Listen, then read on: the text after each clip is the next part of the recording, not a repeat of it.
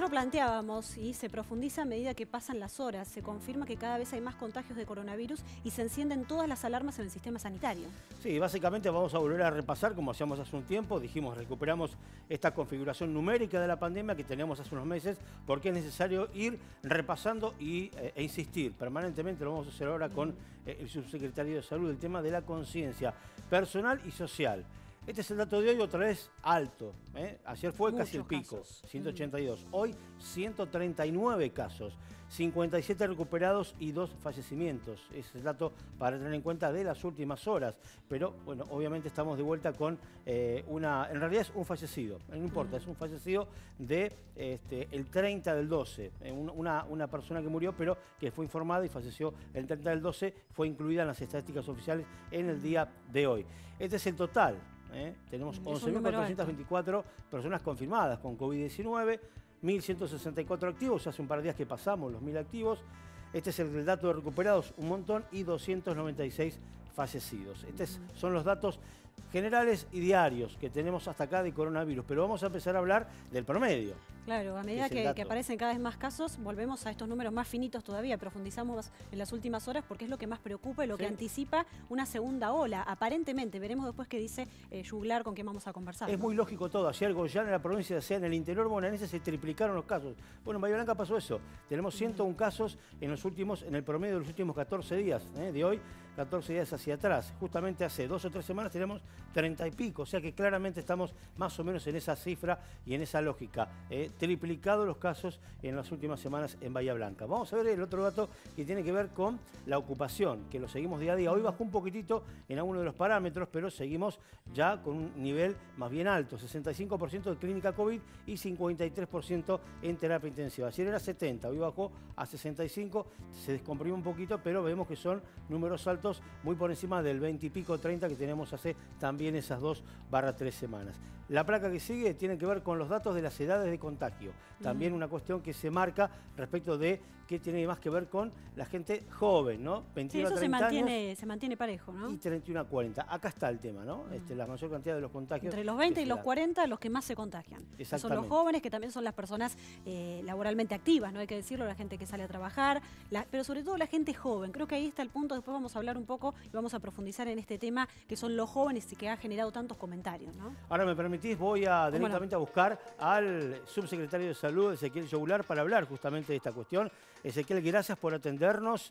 Eh, la pregunta es respecto de esto que estamos viendo, ¿qué enfoque, qué análisis hace eh, tu área, la comuna, sobre esta suba de casos? ¿Cómo lo están viendo? ¿Cómo lo contextualizan?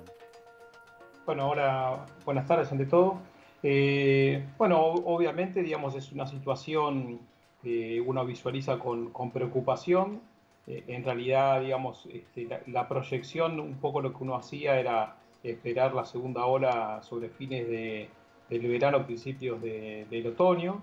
Y bueno, hoy lo que estamos viendo son eh, las consecuencias, digamos, de, las, eh, de los encuentros sociales que se han dado, sobre todo eh, la semana de, Navidad y de, de, Año Nuevo. Como vos bien decías, más o menos para el 22 de diciembre nosotros teníamos casi un promedio de los últimos 7 días de, 30 casos y hoy estamos casi en 220 casos, digamos, de promedio en los últimos 7 días, digamos, ¿sí? Cuando vemos el, rango de 14 días, ahí estamos casi cercándonos al cielo.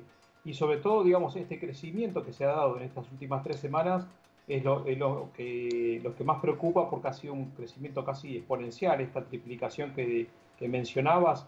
Nosotros no la habíamos tenido ni siquiera en septiembre y octubre, siempre habíamos ido como en escalones y eso siempre da, da espacio a ir acomodándose, este, reacomodando los servicios de salud. Así que lo que visualizamos es una, una situación de, mucha preocupación y ocupación, ya que este, no, no, ha permitido que podamos bajar los brazos desde el sistema de salud este, ante esta pandemia.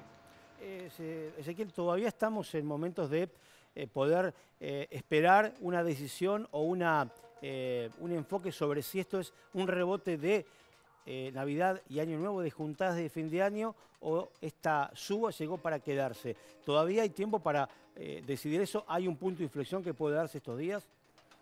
No, yo creo que, a ver, este, estamos todavía, digamos, transitando por, por periodos de, contagio y de incubación, todavía estamos con, algún tipo de, situación relacionada a las fiestas de fin de año y sobre todo los primeros días de enero.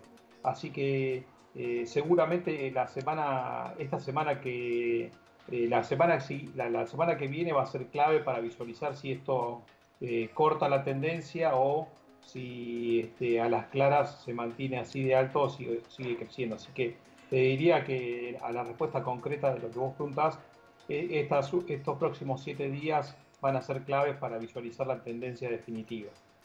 Ezequiel, ha sido realmente sorprendente la forma en que, se ha, a ver, ¿cómo, cómo exponerlo? Eh, eh, casi como un manual. Lo que pasó en Europa, lo que pasó en el país, está pasando también en el pago chico.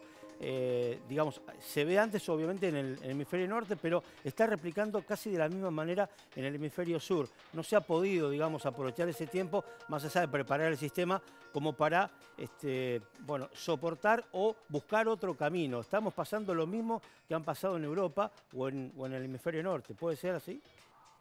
Sí, sí, eh, es, exacto, porque digamos acá hay, eh, hay muchas variables, digamos, pero hay tres como para mencionar. El sistema de salud por un lado, que tiene que ver con eh, la cantidad de testeos que se hacen y eso en Argentina hoy estamos eh, en un nivel casi del doble de lo que estábamos eh, a mediados de año del año pasado. Hoy se hacen más de 50.000 test por, día, cuando el nivel eran cercano a los 25.000. El otro es el comportamiento social, digamos, o sea, costumbres, hábitos y hábitos saludables que la, comunidad y la ciudadanía y, las comunidades intentan adoptar y, eh, por otro lado las cuestiones vinculares que hacen que el distanciamiento social eh, eh, es un comportamiento casi antinatural porque el ser humano tiende a, vincularse con, sus semejantes.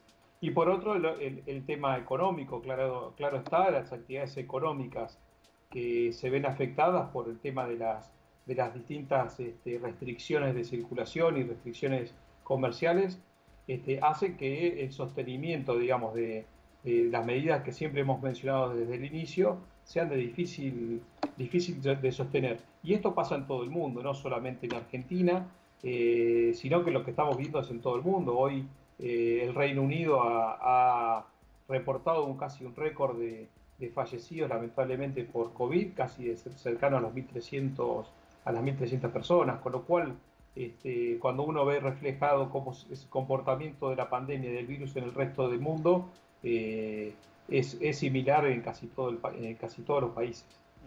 Creo que ahí está el tema, ¿no? También hablar de la conciencia de lo personal a lo colectivo.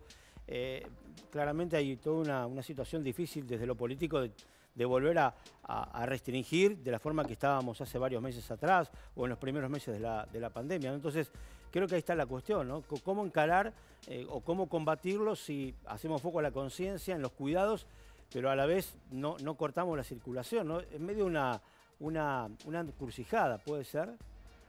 Sí, sí, totalmente. Por eso yo, en, las pocas veces, en las veces que intervení me han preguntado, eh, claramente acá hay un componente humano que tiene que ver con la solidaridad y con la empatía, con los cuidados individuales, pero eh, la afectación de esos cuidados individuales que tienen que ver con, eh, el impacto colectivo. Eh, entonces claramente está, digamos, que los cuidados individuales y cuidar a, la otra persona con el uso del tapaboca nariz, con el distanciamiento, con la higiene de manos y ahora este, con el tema de tener espacios ventilados, eso es clave, digamos, ¿no? Entonces, y el otro es, bueno, si tengo sintomatología, tengo algún tipo de molestia, me quedo en mi casa, trato de no tener contacto con otras personas y recurro al sistema de salud, digamos. Ahí eh, creo que hay un componente humano que, hay que este, destacar que, eh, que tiene importancia en todo esto. Y bueno, después, eh, por último, el tema de la vacuna eh, va a ser efecto, pero eh, va, a tardar, ¿no? Obviamente, hasta que lleguen las dosis necesarias, hasta que se empiece a vacunar un porcentaje importante de la sociedad. Este, suponemos que este año va a ser muy parecido. ¿Te lo imaginas de esta manera? Otro año más, o por lo menos un primer semestre con la misma sintonía, la misma configuración de sociedad en este contexto de pandemia?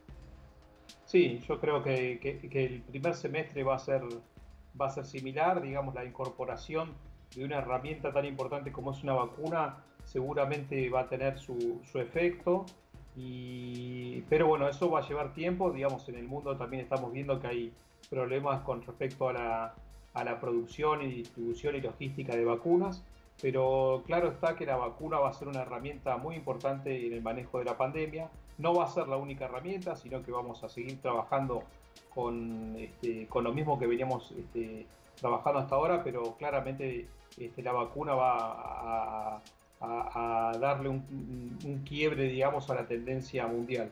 Pero bueno, como mencionás, seguramente el primer semestre va a estar eh, con mucho trabajo del sistema de salud y también con el sostenimiento de las distintas campañas de, vacunación que se van a llevar adelante y que se están llevando. Ezequiel Segular, eh, muchas gracias, muy amable. Bueno, gracias a vos, ¿eh? un saludo a todos. Buenas noches.